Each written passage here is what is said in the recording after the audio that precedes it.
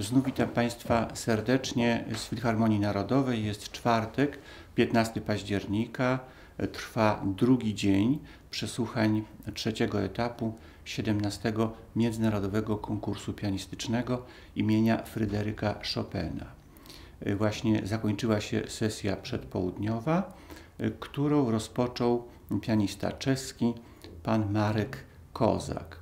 Zaczął od poloneza fantazji Astur. Jest to jakby powrót ciągle do atmosfery pierwszego etapu, no ale tak jest elastycznie sformułowany y, program tegorocznego konkursu, więc zabrzmiała ta y, kompozycja Polonez Fantazja, tak szalenie trudna, po raz kolejny. No i niestety w takim kształcie, jakby to powiedzieć, schłodzonym mocno. Polerował tam te kawałki fraz, y, pewnych epizodów, ale jakby stał z boku tej kompozycji, nie dał się porwać temu, co powinno go unosić, ponieważ ten żywioł dźwiękowy, który tutaj mm, kreuje się pod palcami, to jak powiedzieliśmy wcześniej, jest jak gdyby ewokacja improwizującego samego Chopina. No więc to oddziaływanie zwrotne muzyki kreowanej przez pianistę nie miało tutaj miejsca. No i właśnie ten chłód i ten obiektywizm on wyraźnie pozostawał w kolizji z duchem tego arcydzieła.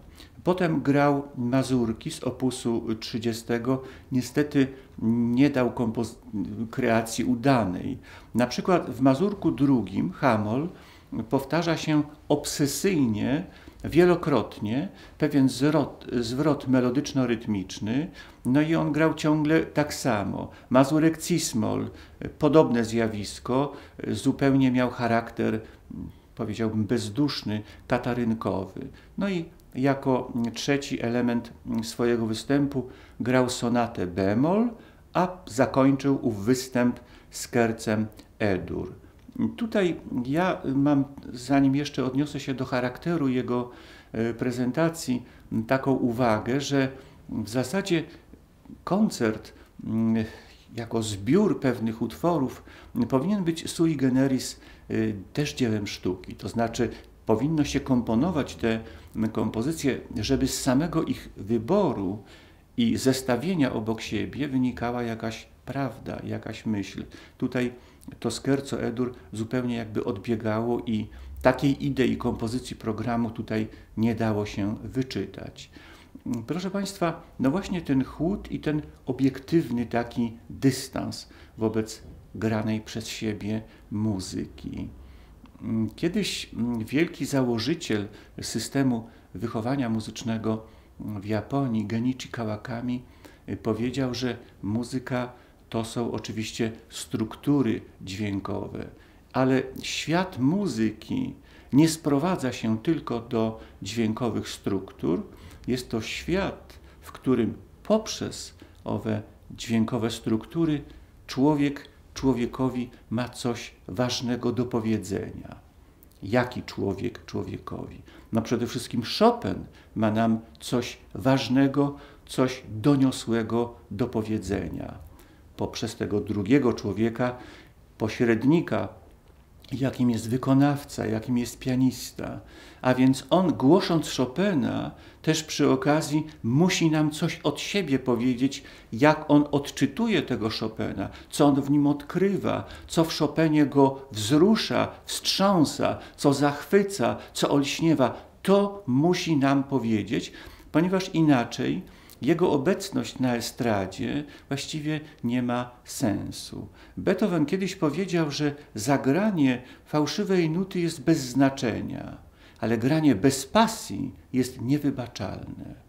I tyle właściwie mógłbym powiedzieć, mm, odnosząc się do występu pana Marka Kozaka, zaznaczając jednak, że ten właśnie taki schłodzony właśnie stosunek do własnej gry być może wynikał mm, z pewnych y, powiedzmy sobie niedoskonałości w jego występie w drugim etapie, bo oczywiście y, w wykonywanym mm, polonezie, wielkim polonezie z, kojarzonym z Andante Spianato było szereg usterek technicznych, także w walcu z opusu 18, może ta nadmierna ostrożność i może to schłodzenie i może ten taki zimny stosunek jak jubilera, który szlifuje diament. Bo gdyby się troszeczkę poddał emocjom, pewnie mógłby popełnić błąd.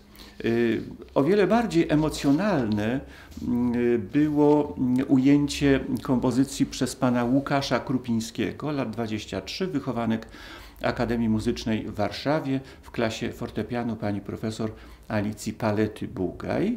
Grał sonatę bemol op. 35, mazurki 59, etiudę cismol, tę właśnie nokturnową z opusu 25 i poloneza fantazję. No, co do tej ostatniej kompozycji, to właściwie myślę, że nie udało mu się wniknąć w tego ducha, mm, swoistego ducha tego arcydzieła, o którym tutaj tyle słów powiedzieliśmy. Ale mm, po przerwie mm, tej przedpołudniowej sesji pojawił się na estradzie Krzysztof Książek, lat 23.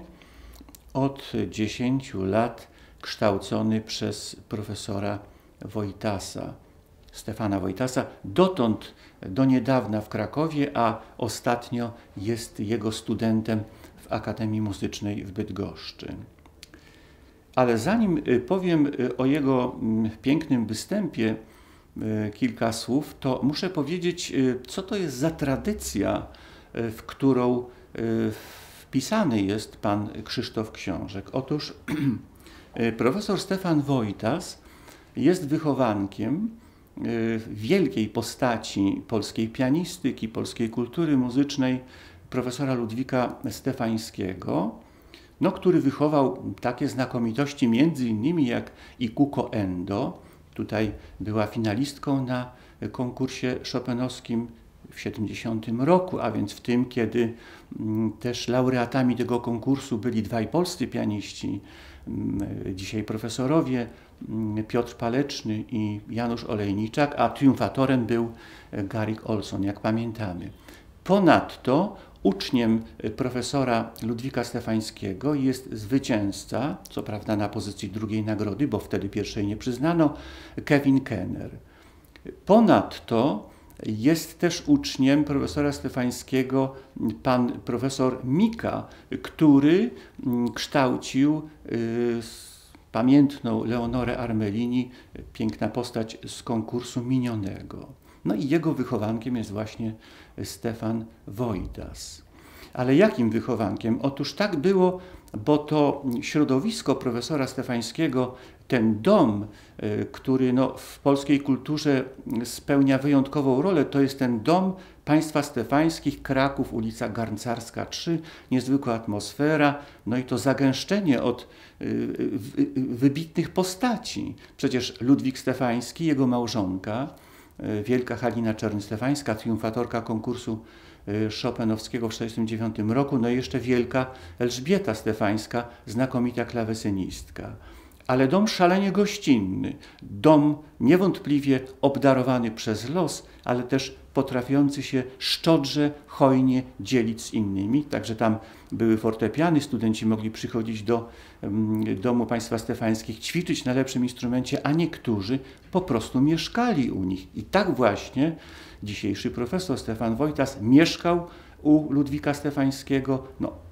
to była taka relacja między mistrzem i uczniem, jak dawniej bywało, prawda? Kształtowało się nie tylko pianistę, ale też człowieka, jego kulturę, jego odniesienie się do wartości, do świata, jadło się razem kolację i obiad. Tak to wszystko wyglądało. Y, powiada starożytny mistrz retoryki, że jeśli ktoś został pouczony przez drugiego słowem, to nazywa się go synem, a tamtego ojcem. No piękna e, relacja, właśnie taka synowska między mistrzem a uczniem. Myślę, że ta synowska relacja między Ludwikiem Stefańskim a Stefanem Wojtasem przeniesiona została na relację Stefan Wojtas i Krzysztof Książek, no bo 10 lat formował profesor Wojtas pana książka, budował z niego pianistę. Ja chcę powiedzieć y, jeszcze raz y, bardzo dobre słowo o stanowisku sędziów tego konkursu, bo powiedziałem Państwu przy okazji występu pana książka w pierwszym etapie, że nie był to występ na, przepraszam, jego miarę, że y, oczywiście o wiele więcej potrafi. I teraz pytanie, czy jury powinno oceniać wyłącznie to, co artysta w danej chwili prezentuje. Widzicie Państwo, tak tutaj wszyscy trochę chorujemy na tym konkursie. No i ja też trochę. Y, czy też powinno jury oceniać to, co artysta sobą obiecuje? I właśnie z tego punktu widzenia mm, podjęto decyzję i dzięki temu z etapu na etap Krzysztof Książek gra coraz lepiej, a w trzecim etapie zaprezentował się wspaniale. Grał mazurki op. 50 z pełnym zrozumieniem, potrafiąc na przykład różnicować e, charakter tych ogniw wewnętrznych mazurka, mazurku Azdur, Kujawiak, Mazurek, Kujawiak. Mm, mazurek Cismol, rozbudowany, e, właściwie uczynił z niego taki poemat na temat Mazurka. Ślicznie zaczął, wprowadził w aurę właśnie nokturnu, grając Preludium Cismos op. 45.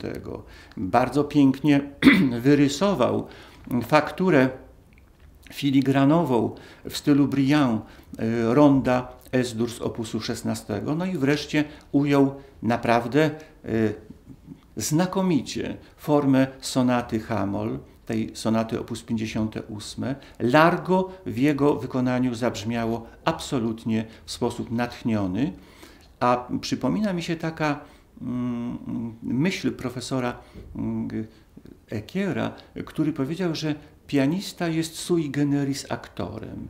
I skojarzenie właśnie tej wizji, którą Krzysztof Książek dał nam sonaty Hamol, skojarzenie z teatrem jest nieodparte, ponieważ umiał schierarchizować grę tych wielu epizodów, które tutaj nawzajem e, się jakoś dopełniają. Jedne ustawił na proscenium, drugim kazał przemawiać z głębi sceny, a innym jeszcze jakby z zakulis. Naprawdę przepiękny występ. Cieszę się, że ta tradycja, z której pan książek wyrasta, której dziedzicem był Stefan Wojtas, tradycja Ludwika Stefańskiego tutaj na tym konkursie dzisiaj miała swój piękny dzień. No ale proszę Państwa, przed chwilą jeszcze e, tam niedaleko za ścianą rozbrzmiewały cudowne dźwięki niezwykłej postaci tego konkursu, młodziuteńkiej, kruchej e, Kate Liu, lat 19, kształconej przez e, charyzmatycznego pedagoga Roberta McDonalda w słynnej uczelni Curtis Institute w Filadelfii. Zaczęła od poloneza fantazji. Właściwie nigdy nie słyszałem w tej sali tak olśniewającej kreacji tego utworu. Czysta poezja grała natchniona i grała tak, jak gdyby właśnie improwizowała. Te zawieszenia, te chwile ciszy, w której jeszcze brzmiało echo przed chwilą zagranej frazy. Chciałoby się przywołać wers pana Tadeusza, czy wojski, czy to jeszcze echo, a tu jeszcze echo i echo echa. No i po prostu to, co pokazała w tej y, kompozycji, w tym arcydziele, to po prostu dała świadectwo, jak niezwykłą dysponuje wyobraźnią. Wyobraźnia, czyli zdolność tworzenia obrazów, a także zdolność wczytania się w te ukryte sensy i ukryte przesłania arcydzieła muzycznego, które muszą przezierać spoza nut. Takie głębie i takie otchłanie piękna potrafiła wydobyć i nadać temu dźwiękowy kształt. Wyobraźnia idzie w parze z kreatywnością. To znaczy stworzyła wizję dzieła, którego dotąd nie słyszeliśmy jeszcze na własne uszy. Potem grała mazurki. No muszę powiedzieć, że mazurki to jest wielki problem, właściwie dotąd nie słyszeliśmy e, idealnego wykonania mazurka. Piękne mazurki e, pokazał w swoim występie pan książek, ale proszę Państwa, co tu dużo mówić? No, trudność mazurka. Sam Chopin mówił do ucznia, czy pan myśli, że jestem zadowolony z tego, jakie gram? Nigdy. Czasem, raz na rok, natchniony przez atmosferę publiczności, udaje mi się to zrealizować, wtedy warto mnie słuchać. Reszta, mówił Chopin, to robota, to proza muzyki, prawda? A tymczasem mieliśmy po prostu olśniewającą kreację Mazurków i to jeszcze z opusu 56. Dlaczego mówię jeszcze? Bo akurat w tym opusie są dwa Mazurki niesłychanie rozbudowane. Często Mazurki są króciuteńkimi miniaturami. Każdy z tych Mazurków jest światem poezji samym w sobie, jak to już odkrył mm, Robert Schumann. A tutaj ten Mazurek Hadur jest rozbudowany i Kujawiak, i Oberek, i znowu Mazurek ślicznie zagrany mazurek C-dur, no i potem mazurek C-moll, tak rozbudowany, że jest to właściwie cykl wątków, jest to właściwie cała przepiękna opowieść o świecie szopenowskiego mazurka. Jak wypowiedziana, no po prostu w głowie się nie mieści. No a potem sonata Hamol. Ja Państwu już powiedziałem, że sonata Hamol to jest arcydzieło arcydzieł, że tutaj skoncentrowały się, ześrodkowały właściwie wszystkie wątki szopenowskiej twórczości i te wszystkie przewyższenia ducha Chopina, które dokonywały się y, przy okazji twórczości każdego kolejnego nokturnu, skerca, ballady, etiudy, preludium tutaj się sumowały i dały arcydzieło arcydzieł, które zostało zagrane arcydzielnie.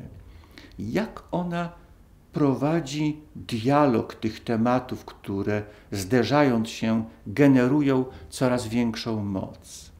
A przede wszystkim, ponieważ w tym pierwszym Allegro maestoso raz po raz wraca dany wątek, dany temat, to za każdym powrotem on przyobleczony jest w większą potęgę, jeszcze bardziej y, dojmująco do nas przemawia. Y, no, skerco, fantastycznie lekko zagrane, cudownie, no właściwie to motyl biegał po klawiaturze. Largo, wstrząsające, i jaka różnica palety y, dynamicznej, piano, piano pianissimo, piano, piano pianissimo, to niekończące się schodzenie w dolne rejestry tych szeptów y, dźwiękowości Fryderyka Chopina. Ja Państwu powiedziałem w drugim etapie, że czasem to jej piano ma takie wrażenie, jakby płatek kwiatu spadał na klawisze, ale to jest piano dojmujące.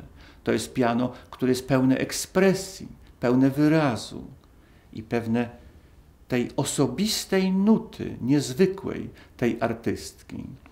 No i wreszcie y, finał, potęga niesłychana. Proszę Państwa, y, ta artystka y, prowadzi nas w jakieś niezwykłe rejony ducha, do których zwykły śmiertelnik niewątpliwie nie ma sensu. Kiedy jej się słucha, a jest to historyczny moment, takich spotkań sztuką, ze sztuką takiego formatu nie ma często. Zdarza się kilka razy w życiu, może raz w życiu. Otóż mianowicie, kiedy coś takiego ma miejsce w sali koncertowej, a dzisiaj właśnie to się zdarzyło, to zawala się nagle, jak domek z kart, ten postmodernistyczny relatywizm, negujący obiektywizm prawdy, dobra i piękna, i w tym wykonaniu, w tej kreacji, z całą potęgą jaśnieje blask prawdy Chopinowskiego arcydzieła i blask piękna, samej, jak powiedziałby Platon, idei piękna. Kiedy kończyłem komentarz do drugiego etapu, właśnie poświęcając słowo pani Kate Liu, przywołałem słowa Heinego, który definiując istotę sztuki Fryderyka Chopina powiedział o nim. Przychodzi z krainy Mozarta, Rafaela i Goethego. Wydaje mi się, że właśnie sama Kate Liu, wiedziona za rękę przez samego Chopina, zdaje się przychodzić z krainy Mozarta, bo z taką peryklejską doskonałością potrafi ukazać piękno szopenowskiej formy. Przychodzi z krainy Rafaela, bo sama jest Rafaelem fortepianu. I przychodzi z krainy Goethego, ponieważ jak nikt na tym konkursie i jak nikt w poprzednich konkursach nie potrafi tak odsłaniać głębi poetyckiego wymiaru muzyki Fryderyka Chopina.